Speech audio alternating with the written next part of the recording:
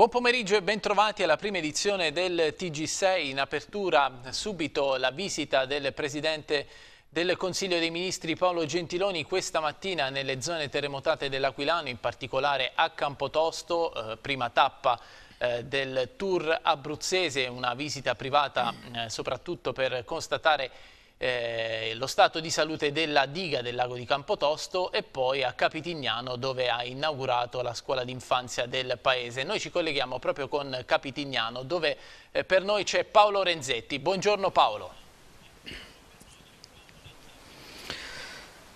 Grazie Alfredo, buongiorno in diretta da Capitignano, siamo all'ingresso della scuola dell'infanzia che è stata inaugurata questa mattina a mezzogiorno dal Premier, dal Presidente del Consiglio Paolo Gentiloni, eh, mattinata abruzzese per il Premier, il Capo del Governo che come dicevi giustamente tu, come ricordavi qualche istante fa, è stato prima a Campotosto eh, in una visita privata in cui ha visitato anche eh, la diga del eh, centro in provincia dell'Aquila per poi spostarsi. Qui eh, nel piccolo eh, paese, sempre in provincia dell'Aquila, siamo in una delle zone più colpite dagli ultimi eventi sismici per inaugurare la scuola dell'infanzia di Via Roma, da cui vi eh, parliamo proprio alle mie spalle. C'è eh, l'ingresso e questa mattina erano davvero in tanti. Eh, qui a Capitignano ad accogliere il Presidente del Consiglio, arrivato eh, qui proprio qualche minuto prima di mezzogiorno con qualche minuto di anticipo rispetto al programma protocollare, accompagnato dal commissario per la eh, ricostruzione del terremoto Vasco Errani, dal presidente della regione Luciano D'Alfonso, dal vicepresidente eh, Giovanni Lolli e dal sottosegretario alla giunta regionale con delega alla protezione civile Mario Mazzocca.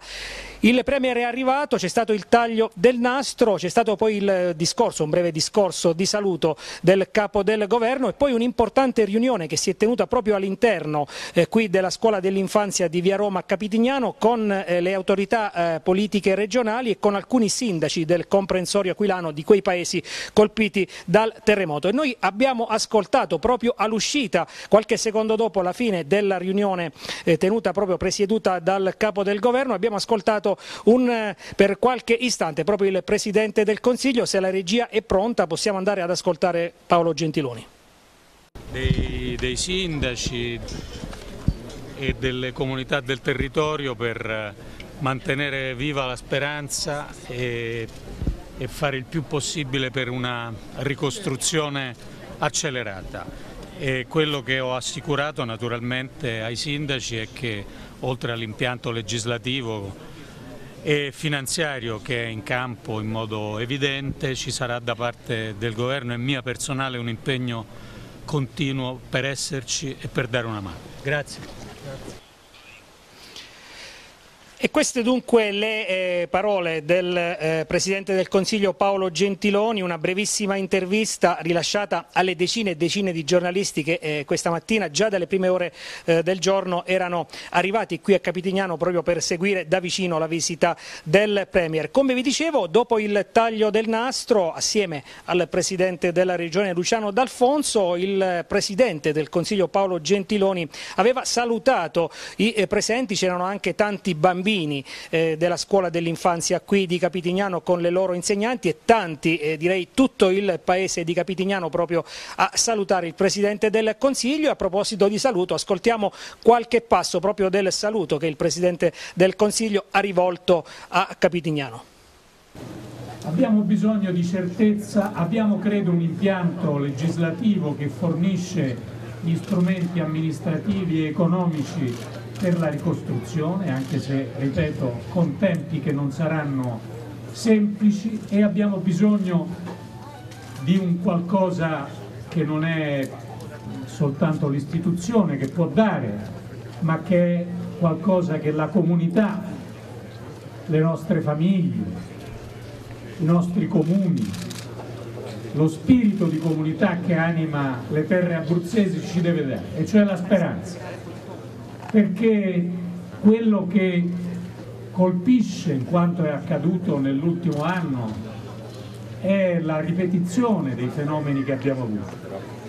E di fronte al ripetersi di fenomeni come questo, peraltro un ripetersi non nuovo in queste terre d'Abruzzo, È straordinario vedere come comunque ci sia una volontà di continuare, di ricominciare, di riaprire attività imprenditoriali, di inaugurare scuole, di continuare ad abitare questi luoghi. Lo faremo con tutto l'impegno possibile, ma lo dobbiamo fare con voi, con i sindaci, con gli amministratori locali, con i responsabili della protezione civile. Ho capito il messaggio del Presidente D'Alfonso, con i responsabili delle forze armate, del volontariato, dei vigili del fuoco, con tutti coloro che hanno partecipato alla ricostruzione. Tutti insieme, con spirito di comunità e con speranza, ce la possiamo fare a sfruttare la meraviglia delle risorse di questo territorio. Il governo farà la sua parte, dobbiamo farla tutti insieme. E a proposito eh, di meraviglie del nostro territorio, eh, Paolo ti do anche una eh, notizia che è stata da poco battuta eh, dall'agenzia ANSA perché è tornato a bruciare il Monte Morrone, eh, si è riacceso un focolaio in località Pozzacchio vicino a Rocca Casale eh, chiaramente questa è stata un'altra emergenza che si è aggiunta in quest'estate a quelle purtroppo legate al eh, terremoto. So che tra poco eh, ci manderai in onda eh, l'intervista fatta al Presidente D'Alfonso che ha anche parlato delle emergenze vissute in quest'estate. Paolo. Esattamente Alfredo, abbiamo ascoltato il Presidente della Giunta regionale Luciano D'Alfonso che ha parlato anche del problema incendi in Abruzzo eh, nella nostra regione in eh, questa estate, ha parlato anche della richiesta della Regione Abruzzo dello stato d'emergenza. E al Premier il Presidente Luciano D'Alfonso ha chiesto risposte importanti anche ovviamente per quel che riguarda in questo caso specifico, visto che siamo a Capitignano, la eh, ricostruzione, la velocizzazione eh, di tutte le norme riguardanti la eh, ricostruzione. Si è poi parlato anche di quelle che sono state le problematiche dello scorso inverno con eh, il maltempo che portò all'interruzione proprio dell'erogazione di energia elettrica per diversi giorni in diverse zone della nostra regione. Dunque un colloquio, un incontro franco tra il Presidente della Regione Luciano D'Alfonso e il Presidente Paolo Gentiloni. Al termine di questa riunione abbiamo ascoltato proprio il Governatore. Ma intanto abbiamo preso atto della capacità dell'invaso di Campotosto non solo di trattenere acqua e di produrre energia idroelettrica ma anche di rendere certa la sicurezza. Noi tenevamo a questi tre aspetti, la capacità idroelettrica, la capacità anche idrica per eh, l'economia agricola e poi soprattutto che tutto fosse in sicurezza anche per corrispondere a quell'assurda posizione comunicato della Commissione Grandi Rischi. A distanza di quasi 12 eh, mesi ormai noi siamo nella condizione di poter dire che quell'impianto è stato verificato e anche validato ulteriormente. Ci sono tutti i documenti sia di protezione civile che di eventuale evacuazione. Poi abbiamo ragionato con i vertici di Enel, con l'ingegner Starace, alla presenza del Presidente Gentiloni, per fare in modo che sia certo il programma di investimenti annuali quanto alla rete che distribuisce la copertura elettrica in Abruzzo. Ho detto anche che mai più deve verificarsi che la neve possa interrompere l'erogazione dell'energia elettrica. Noi abbiamo eh, la struttura normativa più adeguata possibile, mai abbiamo avuto una struttura normativa come quella di questo terremoto. Abbiamo le risorse finanziarie, abbiamo le risorse anche umane. Adesso quello che c'è è da mettere in rotazione questa produzione industriale che sarà la macchina della ricostruzione. Per esempio, noi abbiamo 225 casette che entro il 30 di ottobre verranno collocate e poi ho consegnato al Presidente Gentiloni il dossier riguardante gli incendi. Noi abbiamo avuto un grande danno al nostro patrimonio boschivo ma anche alla nostra capacità di collocazione turistica, dobbiamo determinare che si riconosca lo stato d'emergenza e dall'emergenza arrivino anche le dotazioni che ci occorrono. Paolo, non abbiamo ricordato che eh, nelle ultime ore purtroppo eh, il terreno sotto Campotosto e Capitignano è tornato a tremare, quindi eh, c'è anche ancora la paura del terremoto in quelle zone, terra che non eh, la smette purtroppo di ehm, provocare eh, dei, dei, terremoti e di provocare anche ansia alle persone. Tu che eh, sei stato lì questa mattina, che cosa, che cosa hai potuto capire dello stato d'animo anche delle persone, Paolo?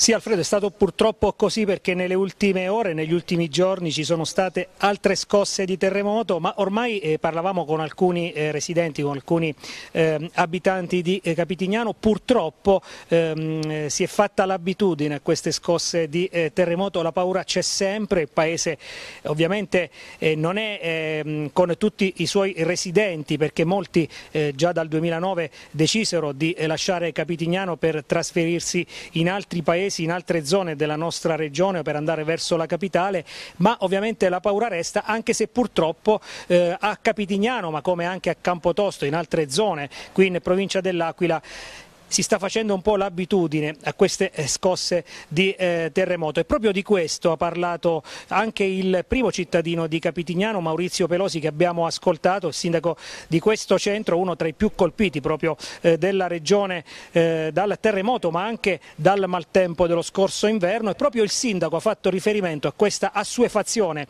della popolazione proprio alle scosse di terremoto. Allora con il contributo della regia possiamo andare ad ascoltare proprio il primo cittadino di Capitignano. Sindaco di Capitignano Maurizio Pelosi, soddisfatto oggi per la visita del Premier in Paese, la testimonianza e la vicinanza dello Stato. Questo oggi dimostra la vicinanza dello Stato, la vicinanza della Regione, la vicinanza della struttura commissariale guidata da dottor Errani. Non avevo dubbi su questo, li ringrazio perché ripeto oggi per noi è importante inaugurare questa scuola perché significa che comunque c'è la volontà di ripartire e questa è fatta con tutte le norme antisismiche, quelle più recenti, è super sicura e questo a noi fa piacere. La visita del primo ministro ci dà la possibilità diciamo, di avere anche visibilità, cosa per noi abbastanza rara da avere, nonostante comunque noi stiamo dentro più crateri purtroppo e abbiamo tante tante inagibilità a Capitignano ancora oggi. La situazione a Capitignano, la luce delle ultime scosse, è brutto dire, ci sono persone che si stanno assuefacendo a questo, non va bene da un punto di vista chiaro, non bisogna perdere la speranza, la pazienza, la forza di volontà di andare avanti. Noi già abbiamo a monte dal terremoto del 24 agosto, culminato il 18 gennaio con epicentro a Capitignano proprio, e diciamo c'è stato uno spostamento delle persone verso il progetto Case dell'Aquila. Eh, adesso stiamo realizzando, stiamo procedendo a tappe forzate grazie anche all'impegno forte della protezione civile abruzzese e nazionale eh, con la costruzione delle SAI. Noi costruiremo adesso in questa fase 18 SAI, quindi 18 famiglie torneranno a Capitignano credo entro la metà di novembre e questo diciamo, ci dà una soddisfazione. Io chiedo al Presidente del Consiglio innanzitutto diciamo, di velocizzare tutte le procedure, dare più potere ai sindaci, e se è il caso crediamo che sia indispensabile poter fare, istruire le pratiche dai comuni stessi, quelle almeno della ricostruzione leggera, come è avvenuto nel 2009 finché diciamo, non c'è stata l'istituzione dell'ufficio speciale che ha bloccato tutto, però fino a quel momento io lo posso dimostrare tranquillamente, l'ho dimostrato, carte alla mano, noi abbiamo riportato a Capitignano, almeno nel particolare, 150 famiglie in casa. E abbiamo dunque ascoltato il primo cittadino di Capitignano Maurizio Pelosi, si è parlato di ricostruzione proprio eh, di fronte alla eh, scuola dell'infanzia che è stata inaugurata oggi dal Premier, dal Presidente del Consiglio Paolo Gentiloni, lo vedete dalle immagini, proseguono i lavori di ricostruzione di uno dei tanti edifici di Capitignano, dunque i segni del terremoto ci sono ancora in questo paese, ci sono in tanti paesi del comprensorio, ma come ha detto il primo cittadino di Capitignano la voglia di ricominciare, di andare avanti c'è e l'inaugurazione, il taglio del nastro di questa scuola qui in Viale Roma a Capitignano è un segno tangibile anche della presenza e della vicinanza dello Stato, come testimoniato anche dalla visita del Presidente del Consiglio Paolo Gentiloni. E dunque tutto da Capitignano, io ringrazio Gaetano Tereo per l'assistenza tecnica, eh, ringrazio anche eh, voi che ci avete seguito e restituisco alla linea allo studio. Grazie, grazie a Paolo Renzetti per il eh, collegamento in diretta da eh, Capitignano. Noi restiamo sempre nell'argomento sicurezza delle scuole perché ehm, questa mattina a Capitignano, l'avete ascoltato dalle parole di Paolo Renzetti, c'era anche il commissario alla ricostruzione Vasco Errani che ha assicurato che tutte le scuole saranno messe in sicurezza, siamo davvero a, poche ore dallo, dal, dallo squillo della uh, prima campanella per quanto riguarda l'apertura dell'anno scolastico e sulla sicurezza delle scuole è intervenuto anche il sindaco di Chieti Umberto Di Primio questa mattina eh, che ha ribadito eh, che non servono più parole ma eh, fondi, quindi soldi per assicurare ai comuni le risorse necessarie per la messa in sicurezza eh, delle scuole. Andiamo ad ascoltare il primo cittadino di Chieti. Guardi, noi come eh, comune abbiamo la vulnerabilità sismica già verificata su tutti gli immobili pubblici, compresi le scuole. Eh, la vulnerabilità sismica, lo dico una volta per sempre, una volta in più, non vuol dire che le scuole debbano essere chiuse, almeno che non ci sia una dichiarazione di inagibilità di quelle scuole. La vulnerabilità sismica è il risultato della risposta di quella struttura ad un eventuale sisma. Su tutte le scuole abbiamo avviato progetti che vanno dal miglioramento all'adeguamento sismico anche, e anche persino all'adeguamento alle norme di antincendio che nella maggior parte, direi in tutte le scuole, mancavano fino a quando noi, sette sette anni fa non abbiamo iniziato ad adeguarle tutte. Ne abbiamo adeguate almeno un 50%, almeno un 50% di scuole sono state ad oggi eh, interessate da lavori di miglioramento adeguamento sismico o di miglioramento o adeguamento sistema, del sistema antincendio, dobbiamo continuare su questa strada. Lo stiamo facendo con fondi propri, ma abbiamo bisogno, lo dico oggi che il Presidente del Consiglio è in Abruzzo, abbiamo bisogno non delle chiacchiere che spesso fa la Regione o delle promesse che ci fa il Governo nazionale, ma di soldi all'interno delle casse non del mio comune, ma di tutti i comuni italiani se vogliamo che le scuole vengano adeguate. Chiudiamo adesso quest'ampia pagina che abbiamo dedicato alla visita del eh, Presidente del Consiglio Gentiloni e più in generale alle, eh, alle problematiche legate al terremoto e alla sicurezza eh, delle scuole. Adesso andiamo a Pescara dove il Movimento 5 Stelle critica il progetto dell'amministrazione Alessandrini di riqualificazione delle aree di risulta, critiche sia sul piano procedurale che sul merito tecnico del eh, progetto e, e, poi i 5 Stelle hanno anche sottolineato come non c'è stato il coinvolgimento del Consiglio eh, Comunale che pure è organo sovrano su questi argomenti. Allora andiamo ad ascoltare insieme il servizio. Il progetto di riqualificazione delle aree di risulta di Pescara deve passare obbligatoriamente dal Comitato Via Regionale e quanto sostiene il gruppo consigliare del Movimento 5 Stelle di Pescara critico nei confronti degli aspetti procedurali e tecnici del progetto che in autunno arriverà nell'aula del Consiglio Comunale. Criticità che i 5 Stelle hanno condensato in un documento di osservazione al progetto a partire dalla strada sotterranea che per l'assessore civitarese è una strada di quartiere mentre secondo il codice della strada strada, dicono i grillini, è una strada urbana di scorrimento, pertanto automaticamente soggetta a via a norma di legge. Invece abbiamo visto che questo progetto eh, viene eh, in qualche modo sottoposto ad una valutazione quindi del fatto che si possa o meno mandarla a valutazione di impatto ambientale e questo dal nostro punto di vista è sbagliato poiché la, la via da legge risulta già obbligatoria e quindi si sarebbe già dovuta fare. Oltre a questo abbiamo evidenziato una serie di caratteristiche di criticità che riguardano la documentazione, cioè carenza di documentazione perché lo studio di fattibilità che deve essere inviato a via deve contenere eh, delle delle verifiche specifiche eh, che non sono presenti. Il Movimento 5 Stelle si sta preparando alla battaglia in Consiglio Comunale anche attraverso una assemblea pubblica che si terrà nei prossimi giorni. Non piace la predominanza del privato nel progetto, preoccupano aspetti non considerati come la qualità ambientale o l'inserimento del progetto nella mobilità urbana. I grillini temono che vengano sprecati 12 milioni di euro del master plan sui 40 totali necessari alla riqualificazione dell'area di risulta e chiedono che tutte tutte le forze politiche vengano coinvolte nel luogo deputato alla discussione, il Consiglio Comunale, che fino ad ora non è stato sentito nemmeno con un atto di indirizzo. Proprio un grande errore proprio nella procedura e nella strategia da parte di chi governa la città. In questo caso quello che è stato preso in considerazione è stato il solo ed esclusivo aspetto economico, che se deve esserci assolutamente per la fattibilità di un progetto non può essere l'unica eh, clausola, l'unica cosa da prendere in considerazione, perché eh, il centro della città e lo sviluppo per i prossimi 30 anni nella città ha uh, obiettivi maggiori che non la sola fattibilità economica dei tempi presenti.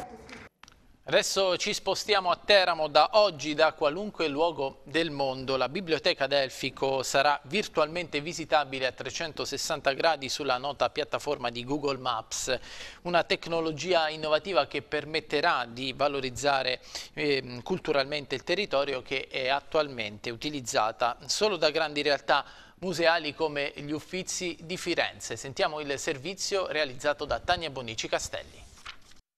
La Biblioteca Delfico di Teramo, tra le più antiche e prestigiose del centro Italia, sarà visitabile virtualmente in tutto il mondo grazie ad una nuova tecnologia che prevede l'utilizzo della nota piattaforma Google Maps. In un clic si potrà avere la visione a 360 gradi di tutto il suo patrimonio interno, un'esperienza unica, adottata solo da grandi realtà museali come gli Uffizi di Firenze. Semplicissimo, basta andare o sul sito dell'istituzione stessa della biblioteca oppure direttamente su Google Maps e tutte le piattaforme piattaforme di Google, Google Street View, e si può visitare virtualmente la biblioteca e in particolare le sale più belle della biblioteca che sono eh, sia eh, artisticamente, architettonicamente molto rilevanti e poi ovviamente custodiscono dei volumi incredibili. Questo ci dà la possibilità 7 giorni su 7, 24 su 24, 365 giorni l'anno di poter visitare l'istituzione forse più importante culturale, una delle più importanti del nostro territorio. E sicuramente questo rappresenta una promozione importante del nostro territorio. Assolutamente, questa è una delle forme più eh, importanti, veloci e potenti per, per, promuovere il nostro territorio, per poter permettere ad ogni persona del mondo di vedere quante sono e di quale qualità sono le bellezze che il nostro territorio offre. In questo grande progetto di promozione territoriale hanno giocato un ruolo importante i volontari volontari della Delfico, sei studenti del servizio civile della provincia di Teramo che hanno collaborato alla digitalizzazione del patrimonio cartaceo e audiovisivo della biblioteca. Tu stai digitalizzando un po' del patrimonio della biblioteca provinciale di Teramo, precisamente che cosa? Allora, diciamo che mi sto occupando del comparto audio, quindi bobine degli anni 40-60 eh, il fondo è quello di Fernando Aurini, che è stato un giornalista importante per la RAI. Sto cercando di digitalizzarle in MP3 formati fruibili per poi farle sentire eh, diciamo a tutti. La Biblioteca Delfico rappresenta a Teramo un luogo vivo e di studio per tanti giovani, ha sottolineato il Presidente della provincia di Teramo, Renzo Di Sabatino, un punto di riferimento culturale che oggi conta 9.000 iscritti. Si è conclusa con la consegna di 25.727 euro la campagna ehm, promossa dal Banco Alimentare Abruzzo denominata Giungi 14 posti a tavola basta un euro, eh, premiate anche con tre biciclette donate questa volta dal Banco Alimentare, le cassiere ehm, che hanno raccolto più fondi all'interno del centro commerciale Iper di eh, Colonnella, soldi che eh, serviranno a, a preparare 360.000 pasti. Andiamo a vedere insieme il servizio. 25.727 volte grazie, tanti sono stati i cittadini abruzzesi che hanno aderito alla campagna del Banco Alimentare in collaborazione con Iper intitolata Aggiungi 14 posti a tavola, basta un euro. I 25.727 euro raccolti nel punto vendita della grande distribuzione a Colonnella e donati al Banco Alimentare questa mattina attraverso la consegna di un assegno si trasformeranno in oltre 360.000 pasti che saranno distribuiti alle 47.000 persone indigenti assistite tramite i 240 41 enti convenzionati con il Banco Alimentare Abruzzese. Aggiungi 14 posti a tavola, don un euro eh, è il calcolo che noi con un euro riusciamo a produrre tra virgolette, perché quello riusciamo a raccogliere 14, 14 pasti che è l'equivalente di 7 kg.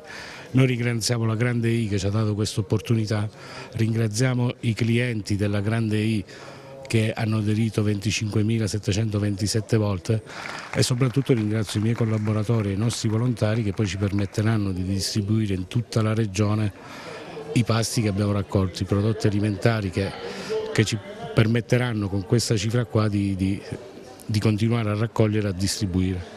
Tra pochi giorni ricorre il ventennale della fondazione del Banco Alimentare, siamo all'interno di questo capannone a Pescara, vogliamo raccontare che cosa fa il Banco Alimentare? Beh, Banco Alimentare nasce 20 anni fa con la prima giornata nazionale della colletta alimentare, in realtà lavora tutto l'anno, 365 giorni l'anno eh, ed è aperto tutti i giorni. Noi raccogliamo prodotti alimentari dalla grande distribuzione organizzata, dalle aziende dell'agroalimentare e li distribuiamo a circa 191 strutture in Abruzzo che si occupano della povertà. Vanno dalle mense per i poveri alle case d'accoglienza, alle caritas parrocchiali ad associazioni che vanno, fanno pacchi alle famiglie. Questo grazie soprattutto ai volontari, abbiamo circa una quindicina eh, volontari che costantemente ci danno una mano e che ci permettono di poter rispondere a questi bisogni. Ringraziamo l'Abruzzo, il popolo abruzzese perché questo anniversario dei nostri vent'anni che tra l'altro cade il 9 settembre ci ha permesso di incontrare altre persone, di incontrare altri sostenitori e tra virgolette anche di festeggiare insieme per questa grande opera che oramai è presente da vent'anni nella regione Abruzzo. E adesso apriamo l'ampia pagina dello sport, iniziamo dal Pescara dove eh, recuperano Bovo e Fornasier mentre restano fermi Lattelat e Mancuso che eh, quindi salteranno anche il match di dopodomani con il eh, Frosinone. Rientrano dalle eh, convocazioni alle nazionali giovanili del Sole e Capone. Quest'ultimo potrebbe trovare spazio all'interno del tridente di Zeman. In attacco ballottaggio fra Pettinari e Ganzi. Intanto il difensore Antonio Balzano ha espresso la sua soddisfazione per essere tornato a Pescara. Vediamo. Sì, ehm, da sempre c'è stata la volontà di... cioè sapevo che prima o poi eh, sarei ritornato a casa. Per me è un grande onore, quindi sono felice di questo e adesso bisogna mettersi sotto e, e cercare di fare quello che si deve. C'è sempre stato qualcosa ma mai nulla di concreto. Penso che anche negli anni scorsi ogni mercato c'era torno a Balzano, torno a Balzano, però non c'è mai stato nulla di concreto. Si è concretizzato tutti gli ultimi giorni perché io avevo una situazione particolare lì a Cagliari che non rientravo nei piani della società e quindi sarei dovuto andare via. Avevo diverse situazioni e naturalmente la mia volontà era maggiormente quella di tornare qui. È cambiato spero sotto l'aspetto positivo perché comunque un po', un po', di partite le ho fatte quindi un po' di esperienza naturalmente eh, l'acquisisci è un ritorno a casa perché ho detto prima ho voglia di levarmi qualche sassolino dalle scarpe che ne ho messi tanti in questi due anni sono qui per, per, far vedere che ancora Antonio può dire la sua cioè che, che Antonio ancora esatto, insomma questo un po' esatto che Antonio non è perché a 31 anni è finito Antonio ha 31 anni e ha ancora la voglia di quando aveva 20. Col mister all'inizio eh, bisogna avere un po' di tempo per, per, per, capire bene gli schemi di gioco e il modo di giocare. Quindi eh, naturalmente eh, io lo conosco già e di sicuro posso dare una mano eh, parlando con tutti i ragazzi, ma eh, vi posso garantire che tutti quanti hanno già preso la mentalità del mister perché è giusto che sia così. Ma il Mise non è una persona che parla tanto, lo sappiamo. Le sue battute sono abbastanza no, mi, ha, mi, ha, solo salutato, come stai, mi ha, mi ha fatto domande su, su, se avevo fatto allenamento con loro, questa roba qua, roba tecnica, ha...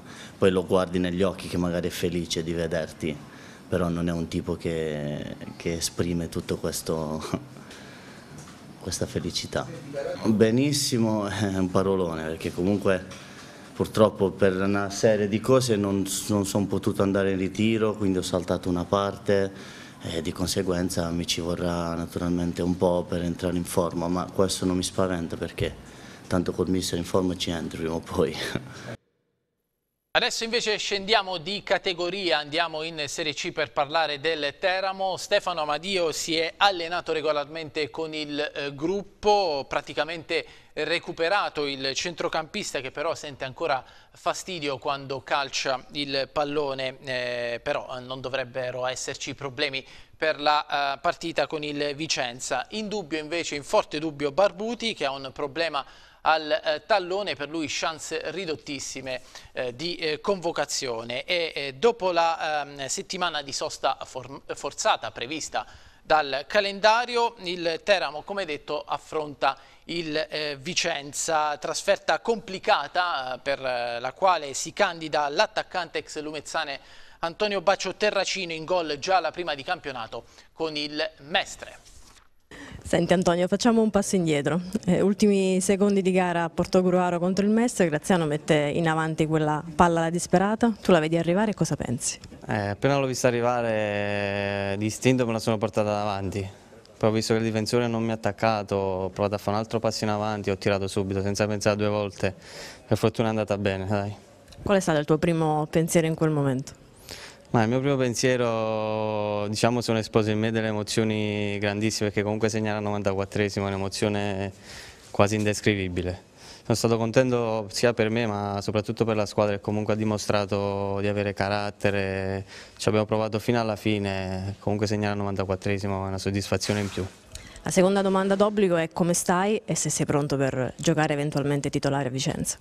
Ma io sto bene, di certo non, sto, non sono ancora al 100%. Speriamo che questa settimana comunque eh, vedo se comunque la mia condizione sarà aumentata sicuramente perché due, questa settimana di sosta comunque mi ha aiutato un po' negli allenamenti a ritrovare un po' di condizione. Poi vedremo in settimana, il mister comunque farà le sue valutazioni e se vedrà opportuno farmi giocare io sono pronto. La classifica dice che andrete ad affrontare una delle capoliste del girone B. Sì, Vicenza è un'ottima squadra. Sappiamo che punta a vincere, però comunque noi andremo lì a fare la nostra partita come sempre, come tutte le squadre. Ci giocheremo eh, sperando di portare a casa un risultato positivo. Intesa con Tullio e Foggia a che punto è? Ma l'intesa c'è, di certo comunque siamo all'inizio, magari pian piano aumenterà sempre di più questa intesa.